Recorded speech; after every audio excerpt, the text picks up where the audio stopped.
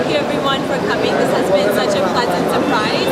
Um, this title is for Indians outside of India, so it's the biggest international pageant for Indians. So there's girls coming to Leela Hotel in Mumbai from all around the world. I represented USA last year and I won Miss India Worldwide.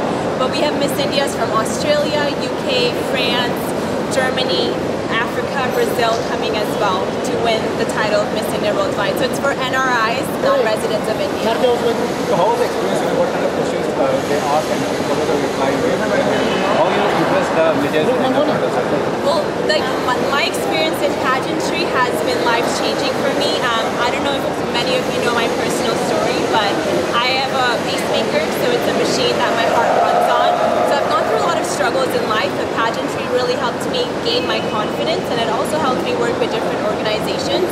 So it's been an experience betterment for myself, but also for the community as I was able to share my story and uplift anyone who might be going through challenges. And what about your future career? Are you willing to make a career in the film industry? What what is the vision for the future?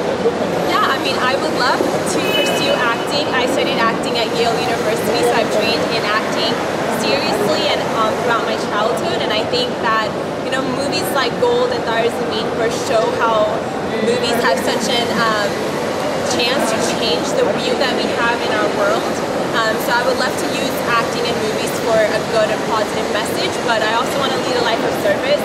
I have studied at Harvard, and I do see myself going back to Harvard and pursuing masters in public policy, and you know maybe even looking into politics one day. Good. Wow.